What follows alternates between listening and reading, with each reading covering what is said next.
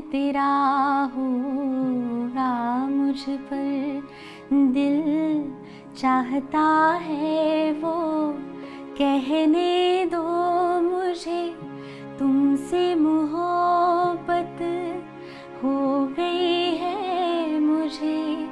पलकों की छाँव में रहने दो एहसान तेरा मुझ पर एकतीस जुलै एकोणीसशे ऐंशी. शम्मी कपूर वृंदावनात होते. अचानक एक माणूस त्यांच्याकडे धावत आला आणि त्यांना म्हणाला शम्मीजी आपकी आवाज चली गई. शम्मी कपूर जरा कन्फ्यूज झाले. ते म्हणाले नाही जी मेरी आवाज तो बिलकुल ठीक है.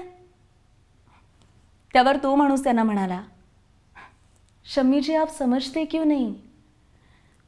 रफ़ी साहब चले गए। आपकी आवाज चली गई। कपूर साहेब अगदी ठसा ठसा रडायला लागले। त्या दिवशी रफी साहेबांच्या अंतयात्रेला त्यांचे जवळजवळ दहा हजारहून अधिक चाहते तिथे उपस्थित होते. या सगळ्यांचे अश्रू कमी पडले म्हणून की काय आकाशातनं सुद्धा अश्रुधारा बरसायला लागल्या. कहते हे कोई दिल गया दिलबर चला गया. साहिल पुकारता है समंदर चला गया।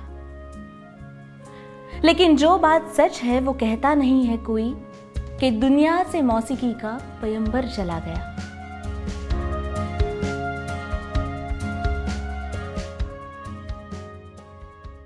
रफी साहेबांचं गाव कोटला सुलतान सिंग? त्या गावात रोज सकाळी एक फकीर यायचा. तो फकीर रस्त्याने चालता चालता पंजाबी गाणी गात जायचा. रफी साहेब तेव्हा साधारण नऊ दहा वर्षांचे असतील. रफी साहेबांना त्याचं गाणं प्रचंड आवडायचं आणि ते त्याच्याबरोबर दूर दूरपर्यंत ते गाणं ऐकत जायचे. मग ते परत यायचे. बाजारपेठेत त्यांच्या वडिलांचं दुकान होतं तिथे जाऊन ते गाणं सगळ्यांना ऐकवायचे. त्यांचे एक फॅमिली फ्रेंड होते हमीद म्हणून. तर हमीद साहेबांनी रफी साहेबांचं टॅलेंट ओळखलं. त्याला वाव दिला आणि त्यांना उत्तम तालीम कशी मिळेल याची सुद्धा सोय केली. एकदा लाहोरला एक जलसा होता त्याच्यात सेहगल साहेब गाणार होते. ते त्या जलस्याला रफी साहेबांना घेऊन गेले. जलसा सुरू झाला आणि अचानक वीज गेली म्हणून कार्यक्रम थांबला.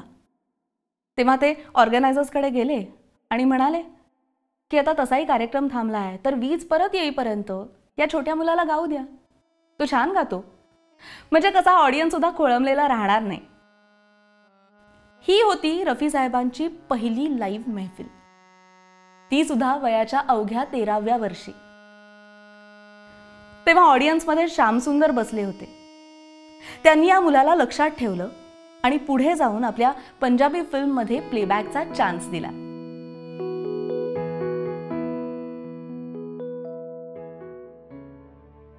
कर चले हम फिदा जानो तन साथी हो अब तुम्हारे हवाले वतन साथियों।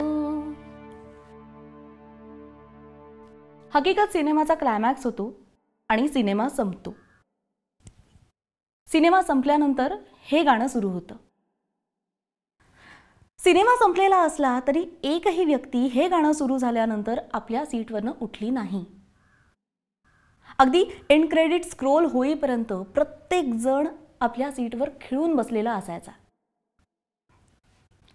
आत्ताची परिस्थिती पाहता ही खरोखरच खूप मोठी गोष्ट आहे. आणि हीच होती मोहम्मद रफींच्या आवाजाची जादू. खुद पे कभी हालात पे रोना। त्यांच्या गाण्यामध्ये असे काही मॅजिकल न्युअन्सेस असायचे ना की जे त्या गाण्याला एका वेगळ्या उंचीवर नेऊन ठेवायचे. मग अभी ना जाओ छोडकर के दिल अभी भरानी यातलं नशे के घूट पी तुलू यामध्ये नशेचा जो काही आभास त्यांनी निर्माण केला आहे आणि त्याच्यानंतर घूट या शब्दाचा उच्चार तर काय लाजवाब. हे सगळंच ना वेड लावणारं होतं. त्यांच्या आवाजाची क्वालिटी अशी होती ना की त्यांच्या जागांचं नोटेशन भल्या भल्यांना करता यायचं नाही. आता कभी खुद पे कभी हालात पे रोना आया. या गाण्यामधली रोना या शब्दाची जागा असेल. किंवा मन रे तू काहे न धीर धरे. ओ निर्मोही मोहन जाने. यातली जाने या शब्दाची जागा. याचं नोटेशन करणं अशक्य आहे. कारण तो आवाजाचा रफी टच आहे आणि त्याचं रिक्रिएशन होऊच शकत नाही. मन रे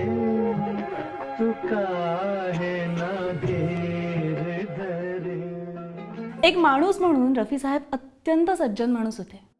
प्रचंड शाय होते आणि नेहमी हसतमुख असायचे.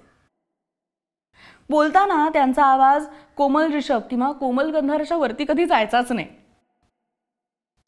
रफी साहेब कुठलाही गाजावाजा न करता अनेकदा लोकांना पैशांचीही मदत करत असायचे. म्हणजे रफी साहेब गेल्यानंतर काही लोक त्यांच्या घरी आले होते पैसे मागायला. तेव्हा त्यांच्या फॅमिलीला कळलं की रफी साहेब अशा अनेक कुटुंबांना सतत पैशांची मदत करत असायचे. निजार बजमी लक्ष्मीकांत प्यारेलालजी यांच्यासारख्या अनेक संगीतकारांकडे रफी साहेब अत्यंत कमी पैशांमध्ये गायले. किंवा पैसे न घेण्यासाठी रफी साहेबांना कारणच लागायचं असं म्हणा ना आज काय तर या संगीतकाराचं हे पहिलंच गाणं आहे. किंवा उद्या काय तर आज मला गाणंच खूप आवडलंय. आणि गाणं परफॉर्म करणारा चि- चित्रपटातला अभिनेता माझा फेवरेट एकदा रफी साहेब महेंद्र कपूर साहेबांना भेटले होते. तेव्हा ते त्यांना म्हणाले होते कि अगर इस लाइन में रहना है तो तीन चीजें हमेशा याद रखना. पहली चीज आंखें हमेशा झुकी रहे. दूसरी चीज कभी किसी को अपना अहम दिखाकर झगड़ना नहीं. और तीसरी चीज़, बुरी संगत से दूर अपना चरित्र साफ़ रखना। अगर ये तीन चीज़ें ध्यान में रखोगे तो हमेशा कामयाब रहोगे।